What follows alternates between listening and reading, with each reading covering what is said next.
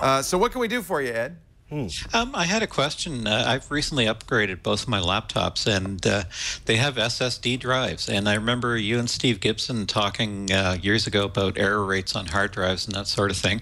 And uh, I wondered, now with uh, SSD drives, is there anything I should be doing maintenance-wise? I know you don't, from what I've heard, you don't have to defrag them anymore. In fact, it's um, exactly you don't want you. yeah. Whatever you do, don't defrag them. mm -hmm. Now it's bad for the drives.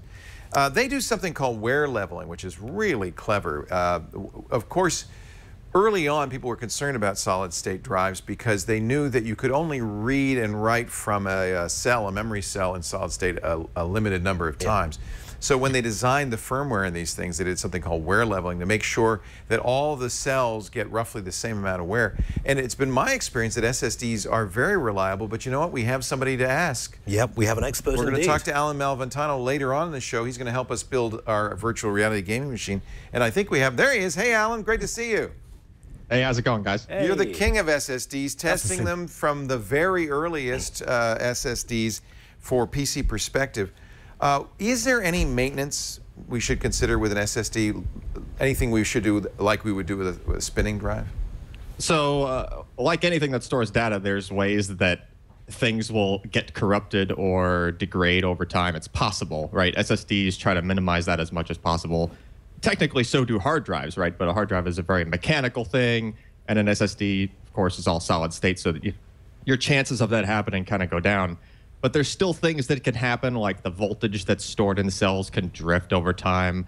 And there's other mechanisms in the SSD that will try to correct that stuff. So, another, so going directly back to the question, there are mechanisms very similar to hard drives. There are things like checksums and error correction and uh, you know other more advanced algorithms, just ways to figure out that a there is an error and b if there is, there's some extra data that's kind of added in there that it can use to reconstruct what it couldn't read or what was missing.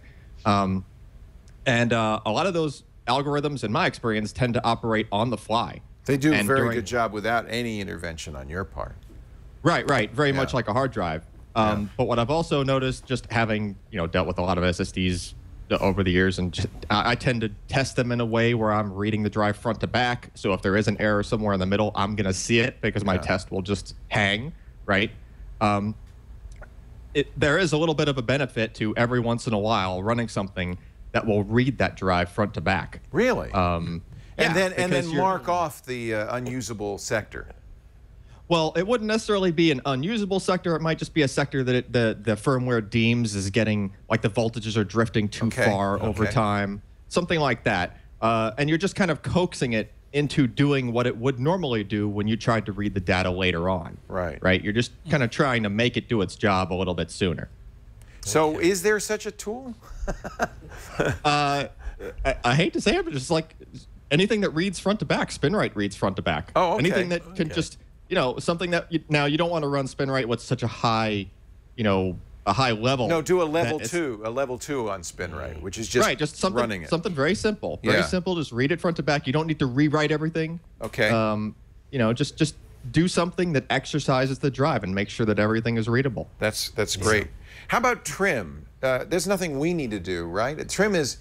Uh, people noted early on that uh, SSDs would initially start very fast in uh, reads and writes and then slow down a little bit, then stabilize and it had something to do with allocation and trim fixes that most operating systems now support trim most drives do. Is there is there a trim tool we should use or anything like that?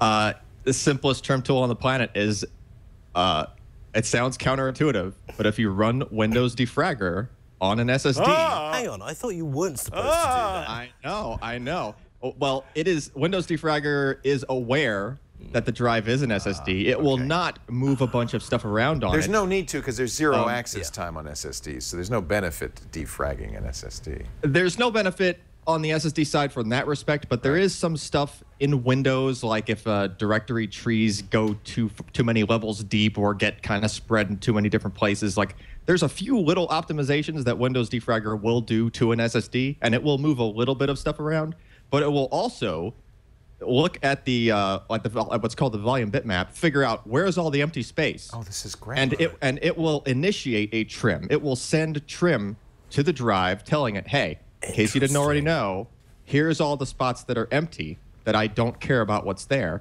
and it will do a kind of a forced trim of everything that's empty on the drive. When was trim enabled in Windows? Is it Windows 8? Uh, no, seven, I believe. Seven. So so use the built-in defragger in Windows 7 or later. Yep. And and how often should I do that? Uh, I think it's. I think it defaults to have an automatic. Oh God, Like I don't want to do automatic that. What, am schedule. I going to wear my drive out if I do that? No, remember, No? it's just trimming. It's just, you're just just trimming. telling it. Yeah. yeah, you're just telling it, is hey, brilliant. that stuff. it- so ideally, an SSD that was always being trimmed as things were being deleted Right. or moved from other places, it should already be caught up. It should already know Right. what's actually empty and what's not. Um, but this just kind of, you know, just in case something slipped by, That's it just brilliant. takes care of. it. See, I'm glad. Yeah. This is why we have. And by the way, Allyn's got how many? 30 SSDs at his feet right now What in a oh, giant uh, raid, right? I don't know. There might be a few. oh, they're not in use. All right. No. All right. When you come back, we're gonna you're gonna help me buy a very nice SSD for our Ultimate VR gaming machine, right? yeah. All right. Any other tools and tips I should know about? This is fabulous. SpinRite once in a while just to run through the whole thing, and Yeah. and Windows defrag. Turn on the schedule. Let it do it because it's smart enough to not hurt the drive, and it will help with trim when it's necessary. Yep. Very good. Excellent. PC um, per.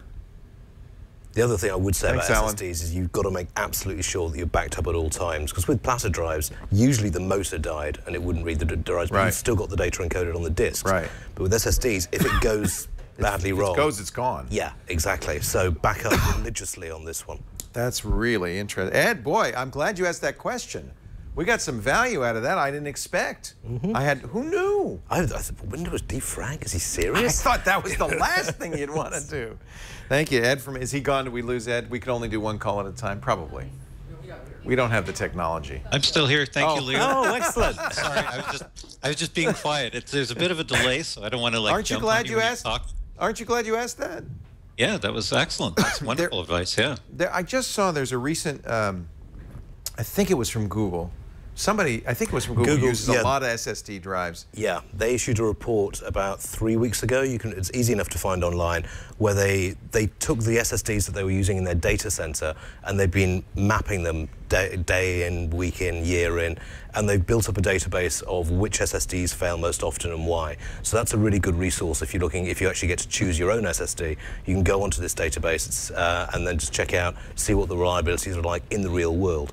Because obviously a manufacturer's going to tell you, well, it'll last forever and a day, but um, if you're actually running these in stacks and data centers, it's a nice, useful bit of kit. The, bit of the most surprising thing from the study, that, uh, and I, I'll have to ask Allyn about this, was that the high-end, very expensive SLC drives are no more reliable than the inexpensive MLC drives. Yeah, we're back to gold-plated HDMI cables all over again. Isn't that interesting?